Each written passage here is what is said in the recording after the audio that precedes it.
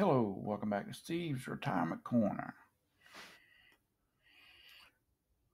Retirement practice. That's the stage I'm in right now. I'm on vacation, so I'm practicing, trying to get my routine down for when I do go. Hmm. I tell you, if it's going to be anything like this, I'm ready to go. so far, my routine's working out pretty good. Been taking my afternoon nap. Hmm. Hmm, hmm. I got a little bit planned to do today. Nothing forcing. You know, I gotta be there at no eight o'clock for, nine o'clock for, whatever, whenever I show up. So, but I think it's important. In order to get good at anything, you need to practice. You can't just stop working 40, 50, 60 hours a week cold turkey. You got to take your time, got to ease yourself into it. I think that's important. And um, you should have an idea of a routine before you uh, before you step out. Now, a routine is not something you're locked into. It's changeable. You can do it any time to suit your needs if it change, and they'll change over years.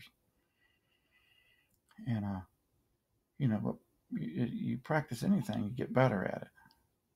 You, know, you might have to adapt how you do it, but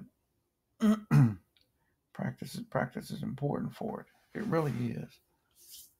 I've heard too many stories about people retiring, getting depressed, just sitting around dying a couple years after they retire. And I always thought that was a shame. Work all them years, get you a few moments to retire, and that's it. That's why I don't see the need behind it. Staying to the very end. I really don't. First off, I guess people think they always got more time than they do. And time gets short once you get 60 years old. You need to make the most of that time. Quit having to answer to the man. You know, do what you feel like when you feel like it.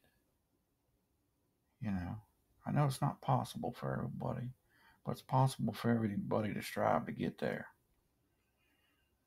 So, yeah, I, well, I've only been practicing this this time for a couple days, what, four or five days now. I still got another 10, 15 days left. Maybe by the end of the, end of the time, I'll, I'll have it down. but I got another vacation coming up here in a little while. And uh, we'll practice again. but uh, y'all take a minute and think about that first month, first couple months out of retirement. And you should have it planned out. You know, what you want to try to do, what you want to accomplish, you know, how your days are going to go. And start out with it like that. And since you've got no demands on, you can always change it later and or eliminate it altogether. Some people do better just winging it. Sort of like me in this retirement business. I got no knowledge. I've talked with some experts. and uh, I got a plan, but it's a loose plan and it's uh, changeable at any time I feel like it. And uh, I'm just kind of winging it. I'll have to adjust it on the fly, is what I'll do. Well, that's about it. Y'all tell me y'all's thoughts and y'all be good. We'll talk at you later.